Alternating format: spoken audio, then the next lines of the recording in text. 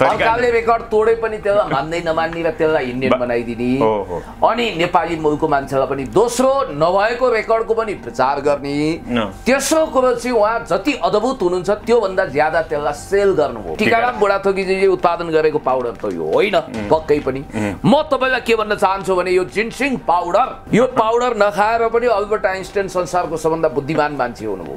यो पाउडर नखाएर पनि पुण्य गौतम एनकेन प्रकारेण राम्रै मेमोरी पावर सहित बोल्छ। यो पाउडरको प्रयोग नगरिकन सबै मान्छेहरू बुद्धिमान मान्छेहरूले यो देश बदले। यत्रो अफिस सेटअप गरिएको छ। लाखौँ लाखको गाडी दिइएको छ। जसको लागि यत्रो खर्च भएको छ। डेकोरेसन भएको छ। अब उहाँलाई त दिन दुगुना रात चौगुनाको दरले फी चाहिने। यो पाउडर नखाएर पनि डाक्टर बाबुराम भट्टराईले एसएलसीमा बोर्ड फर्स्ट गर्नुभयो। यो पाउडर नखाएर पनि अल्बर्ट आइन्स्टाइन संसारको सबभन्दा बुद्धिमान मान्छे हुनुभयो। यो पाउडर नखाएर पनि पुण्य गौतम एनकेन प्रकारेण राम्रै मेमोरी पावर सहित बोल्छ। यो पाउडरको प्रयोग नगरिकन सबै मान्छेहरू बुद्धिमान मान्छेहरूले यो देश बदले। दर्शकबिन स्वागत छ। यतिखेर हामीसँग कुराकानी गर्नको लागि पुण्य गौतम सर हुनुहुन्छ। पुण्य सर स्वागत छ।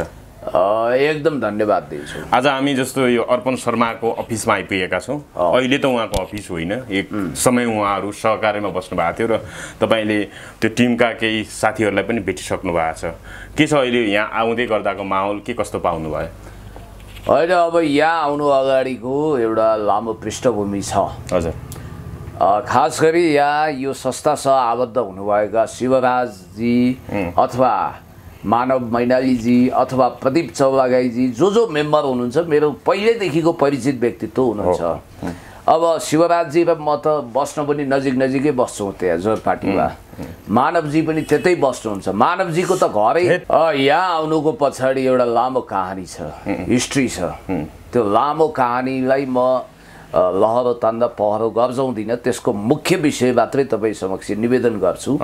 जस्तो यो अर्पण शर्माजी जुन अफिसमा काम गरिरहनु भएको थियो र अहिले यहाँ हुनुहुन्न बेपत्ता लापत्ता हुनुहुन्छ र थुप्रो पैसा कमाउनु हो यहाँ मार्फत।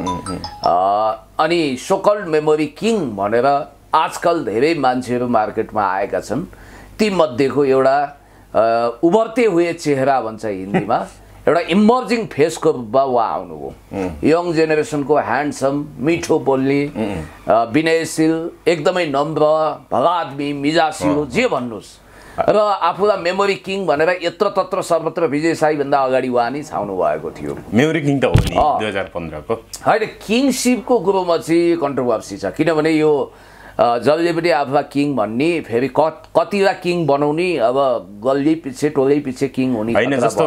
बयालिसवटा वर्ड सम्झेर क्रम सम्झेर चाहिँ उहाँले रेकर्ड अँ, राख्नुभयो within दुई हजार one minute, पन्ध्रमा 42 तर. पछिल्लो समय उहाँले जसरी हल्ला चलाउनु भयो एक मिनटमा मैले तिरासी शब्द सम्झेँ अथवा वस्तुहरूको क्रम सम्झेर मैले गिनिज नाम लेखाएँ त्यो चाहिँ भ्रम रहेछ भन्ने कुरा पछिल्ला कुराहरूले प्रमाणित भइसकेको छ। एकदम एकदम त्यो हुँदै नभएको रेकर्डलाई उहाँले प्रस्तुत गर्न खोज्नुभयो। उम्, जस्तै भिडियो देख्न सक्नुहुन्छ। हो त्यो भिडियोमा पनि छ पछि डिलिट त गर्नुभयो तर त्यसलाई डाउनलोड गर्नेहरूले भाइरल बना फलामै पक्राउ गरिहाले। अब मलाई जहाँसम्म लाग्छ उहाँ जस्तो यो संस्थासँग म किन आएँ त। यहाँहरू समक्ष यो आमन्त्रण किन पुग्यो? यसको पछाडि रिजन खोज्दै जाँदाखेरि म तपाईँलाई निकट अतीतको स्मरण गराउँछु। शिवराजजी त्यतै बस्नुहुन्छ म बस्ने छेउमै। अनि मानव मैनालीजी मेरो निजगढवासी। एउटा ना दाजुभाइको नाता सम्बन्ध पनि छ। वैचारिक हिसाबले पनि नजिक हुनुहुन्छ। प्रदीप चौलागाईजी त फेरि मेरो नातामै जोडिएको मान्छे। उहाँ रौतडवासी हुनुहुन्छ मानव मैनालीजी निजगढवासी हुनुहुन्छ म पनि निजगढको परे शिवराज सरसँग अलिक पुरानो चिन्जान आत्मीयता छँदै थियो। अनि उहाँहरूलाई एउटा ठुलो समस्याले सताएको रहेछ। अब भनौँ कि नभनौँ कसरी भनौँ भन्ने स्थितिमा उहाँहरू पुग्नु भएको थियो र पछि अब अति नै भएपछि मुख खोल्नुभयो। उहाँहरूले एक दिन मलाई के भन्नुभयो भने हामी बडो ठुलो समस्यामा पऱ्यौँ हामीले चार वर्षसम्म नित्य निरन्तर पहल गऱ्यौँ। कानमा बतास आएन मान्छे हिउँभन्दा चिसो हुनुहुन्छ अर्पण शर्माजी।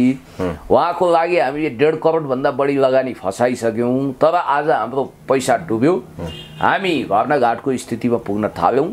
त्यसकारण यो कुरो मिडियामा लानुपर्ने आवश्यकता बोध भयो। ताकि मिडियामा लाँदा उहाँ आउनुहुन्छ कि एकचोटि चाहिँ लैजाउँ भनेर उहाँहरूले हो। भन्नुभयो अनि मैले भने तपाईँहरूको समस्या भित्रभित्रै सल्टाउनुहोस् त्यो राम्रो हुन्छ। किनभने उहाँ पनि एउटा प्रतिष्ठा बोकेको मान्छे हो प्रतिभा भएको मान्छे हो। उहाँलाई मिडियाबाजी गर्दा असर पर्ला भनी हो तद अनुरूप दुई महिना अरू कोसिस गर्नुभएछ उहाँहरूले। ए उहाँलाई फोन गर्ने। एक हिसाबले भन्नुपर्दा चाकडी गर्न पनि पछि पर्नु भएन। त्यो हो। किनभने उहाँ यहाँ आइदिनुहुन्छ भने त राम्रै हुन्थ्यो। त्यसलाई चाकडी नभनौँ माफ गर्नु होला त्यसलाई उहाँलाई विनम्र अनुरोध गर्न कुनै कसर बाँकी राख्नु भएन। र शिवराजजी प्रदीपजी मानवजीले पटक पटक फोन गर्दा नउठाउने ब्ल्याकलिस्टमा राख्ने अनि कुल रेस्पोन्स गर्ने अनि उहाँ यो छाडेर अर्को स्टार मलमा भएको अफिसमा हुनुहुँदो रहेछ त्यहाँबाट पनि लापत्ता हुनुभयो। अब अहिले लेटेस्ट उहाँले एउटा अफिस इस्टाब्लिस गर्नुभएको थियो। एक दिन मैले के रहेछ त? मिडियामा नआइकन यो समस्या समाधान हुन्छ भने म आफै भेट्छु भनेर फोन गरेँ। अनि उहाँको एसिस्टेन्टले उठाएर को पुण्य गौतम भन्नुभयो ए। अनि त्यसपछि मेरो पनि दुर्वासाका आँखाहरू बल्न खोजे। त्यसकारण मैले त्यति भइसकेपछि उहाँहरूको नाटक देखेँ देखिसकेपछि। अनि शिवराजजी प्रदीपजी र मानवजीको एउटा निष्कर्ष के निस्क्यो भने होइन अब यसरी हुँदैन। मुखमा ताला लगाएर हुँदैन चुपचाप बसेर हुँदैन। चुपचाप बस्नु भनेको अन्याय सहनु सरह हो भन्ने उहाँहरूलाई भइसकेपछि वास्तवमै उहाँहरू काहीँ कुनै उपाय नलाएपछि कानुनी कारवाही गर्नु अगाडि कानुनी कारवाहीको स्टेपमा जानु अगाडि एकचोटि मिडियामा जाउँ उहाँले रेस्पोन्स दिनुभयो भने त्यो कुरा हामी सल्ट्यौँला। होइन भने केही न केही कुरा राखौँ भनेर उहाँहरूको मिजाज बहुत नरम छ। एकदमै माइल्ड भाषामा उहाँहरूले भन्नुभयो। र अस्ति हामीले भण्डार खालमा शिवराजजी हामीले कुराकानी मैले गरेँ। त्यति गर्दा पनि उहाँको कानमा बतास आएन। मानव यो पृथ्वी लोकमा त्यो भिडियो नै आएको छैन। उहाँलाई थाहै छैन। उहाँ चन्द्रलोकमा हुनुहुन्छ जस्तो व्यवहार गर्नुभयो। उहाँलाई थाहा छ भव्यवाती जम्मै थाहा छ। उहाँले फेरि उहाँको पितालाई अर्पणजीको पितालाई पनि फोन गर्नुभएछ तपाईँ याद गर्नुहोस् जसलाई मासिक चार लाख रुपियाँ खन खन गनेर तलब दिइएको छ। जसलाई यत्रो अफिस सेटअप गरिएको छ लाखौँ लाखको गाडी दिइएको छ जसको लागि यत्रो खर्च भएको छ डेकोरेसन भएको छ अब उहाँलाई त दिन दुगुना रात चौगुनाको दरले फी चाहिने। अब अर्को कुरो हामी के भने अब जस्तो यो पाउडरको कुरो गरौँ। यसलाई चाहिँ जिन्सिङ पाउडर भन्दो रहेछ। यो नेट वेट वान केजी भनेको छ। एक किलोको ठ्याम्मै यो पाउडर छ। यो पाउडर नखाएर पनि डाक्टर बाबुराम भट्टराईले एसएलसीमा बोर्ड फर्स्ट गर्नुभयो।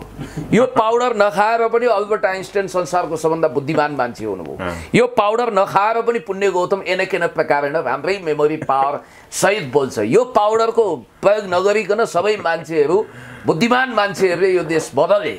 तर यो पाउडर खाएर दिमाग विकसित हुन्छ भने कोही बात छैन खाइदेऊ भनेर पनि साथीहरूले खानु हो। अब यो टङ्को बुढाथोकीको दाईको नाम के अरे हाम्रो? माफ गर्नु होला उहाँलाई मुस्न खोजेको होइन। टिकाराम बुढाथोकीजीले उत्पादन गरेको पाउडर त यो होइन पक्कै पनि।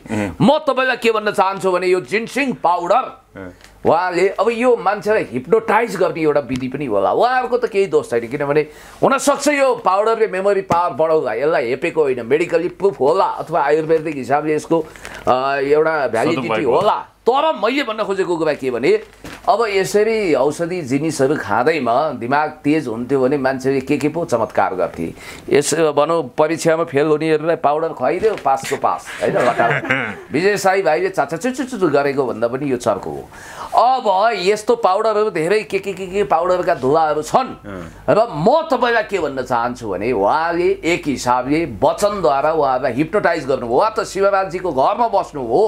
यो इतिवृत्त मलाई थाहा छ उहाँलाई मैले भेटेको पनि रहेछु भन्ने कुरा अहिले आएर थाहा भयो। एकचोटि उहाँसँग मेरो भेट भयो। उहाँप्रति मेरो कुनै गुनासो पनि छैन।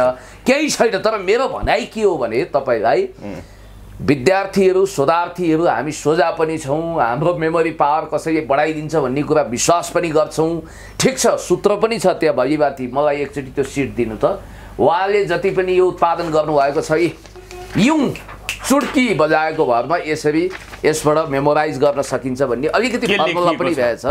होइन हाउ टु मेमोराइज डेफिनेसन्स भनेर अब परिभाषालाई कसरी मेमोराइज गर्ने according to American marketing association भनेर यो यसरी तपाईँले उहाँले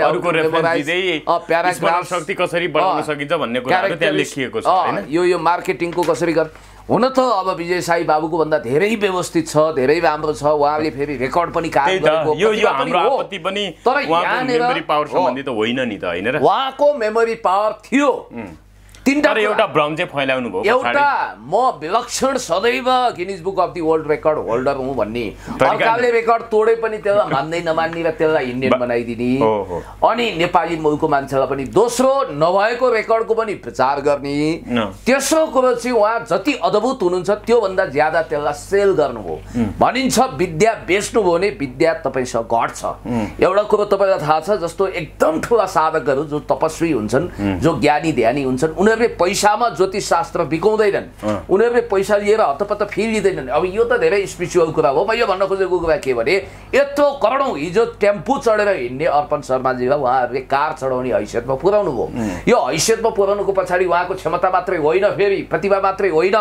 यो अफिसको कति योगदान छ भन्ने कुरो मैले भनिरहनु पर्दैन। त्यस कारणले गर्दाखेरि यस्तो लाग्छ कि उहाँहरू एकदमै रगतका आँसु छुवाएर हिँड्नु भएको छ ब्याङ्कभरि लोन छ कसरी चुक्ता गर्ने? म अर्पण शर्माजीलाई भन्न चाहन्छु तपाईँलाई यो निवेदन मैले अर्पणै गरेँ। ल तुमेव माता हस्य पिता तुमेव भन्न पनि बेर होइन हनुमान चालिसा नि जपी। कृपया यो भिडियो हेरिसकेपछि यहाँ आइदिनुहोस्। शिवराजजी प्रदीप चौलागाईजी अनि त्यसपछि हाम्रो मानवजीसँग स्पष्ट कुरा गर्नुहोस्। तपाईँले मेमोरी ट्रेनिङ दिएर अगाडि बढ्नुहुन्छ भने त्यो चान्स तपाईँलाई छँदैछ तपाईँको लागि स्टुडेन्टहरू आइहाल्छन्। र तपाईँ मेमोरी च्याम्पियन भएको पनि हो यो किङसिप आदि इत्यादि यो साप्ताहिक पत्रिका कान्तिपुरमा तपाईँले छपाउनु भएको छ त्यो छुट्टै फन्डा होला। म के भन्न चाहन्छु भने म मेमोरी कुनै ट्रेनिङ नलिए पनि यतिसम्म बोल्न सक्छु। राम्रै छ स्मरण शक्ति। चार वेद अठार पुराण लेख्ने वेद व्यासले पनि कालमार्क्सले पनि काहीँ पनि यसरी मेमोरी ट्रेनिङ लिनु भएन। खैर अहिलेको विद्यार्थीहरू सिकेर प्र्याक्टिकली जान चाहन्छन्। त्यो राम्रै हो लोकसेवाको लागि काम लाग्ला परीक्षाको लागि काम लाग्ला। कतिपयले रिजल्ट पनि राम्रो ल्याउनु भएको छ। त्यो राम्रै कुरा हो र फी राम्रो चुकाउनु भयो र मेरो अन्तिम भनाइ के हो भने फेसबुक डिस्कनेक्ट